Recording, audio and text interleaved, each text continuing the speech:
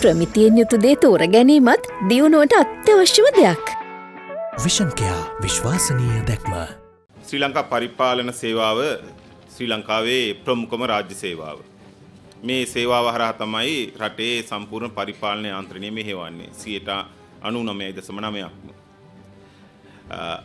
එම සේවාවටත් වෘත්තීය ක්‍රියාමාර්ගයක් ගැනීමට බල කිරීමට තරම්ම අද රටේ සමස්ත පරිපාලන ව්‍යුහයම බිඳ වැටිලා තිබෙනවා. ඒ ඒ වගේ කනගාටුදායක තත්ත්වයක ඉඳගෙන තමයි මම ඔබට කතා කරන්නේ.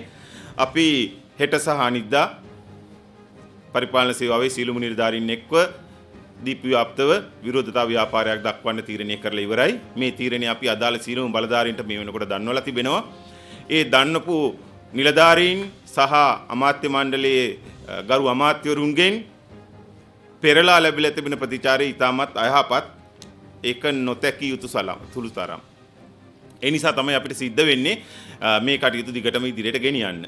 ඒ නිසා 10 11 දින දෙකේ මහජනතාවට සම්බන්ධයෙන් අසාධාරණයක් සිද්ධ වෙනවා නම් ඒ සම්බන්ධයෙන් වගකීමක් ශ්‍රී ලංකා පරිපාලන සේවාවේ නිලධාරීන්ට නැහැ කියන එක අවධාරණය කරන්න ඕනේ.